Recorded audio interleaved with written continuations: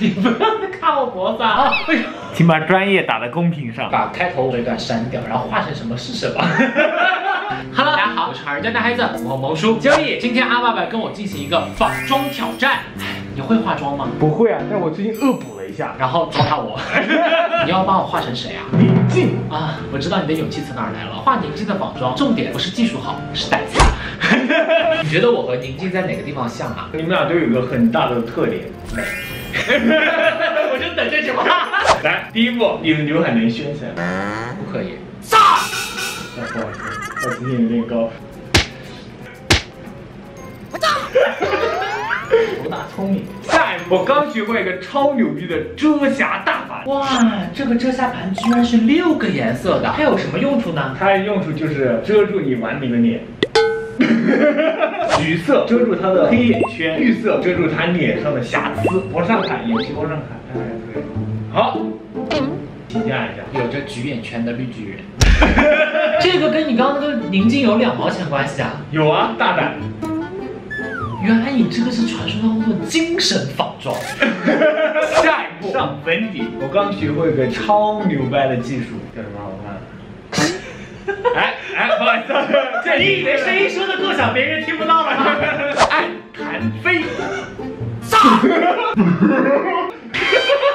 核心技术来了，一按一弹，一按一弹，一按一弹。我建议你把开头我们说这是宁静仿妆这一段删掉，然后画成什么是什么。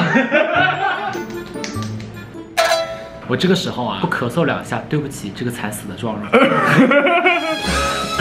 血，画眉毛，感觉你有点不开心呢。你该不会要画野生眉吧？你不要看我脖子啊！啊，哎，那你行不行？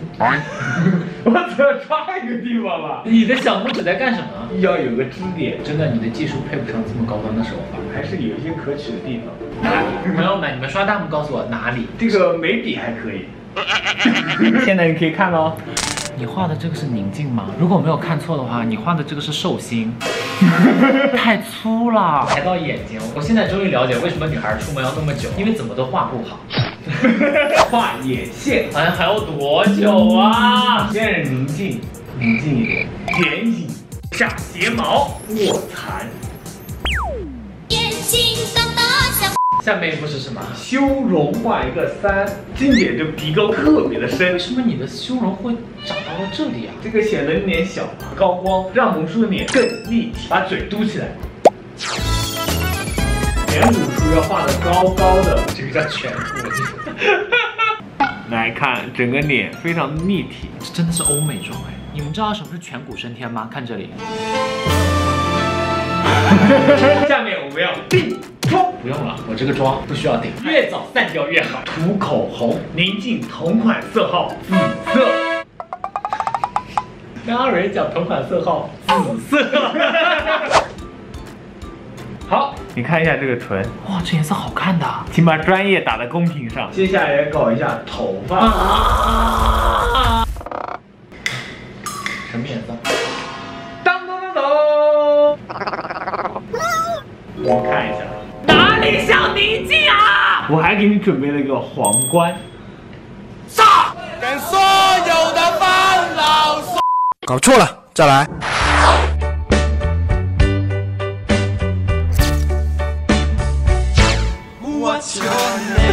所以还有人记得我们今天的仿妆是宁静吗？今天视频就这样了，爱你们哟！不，先大一点。大家一定要记得点赞赞哦，啾咪。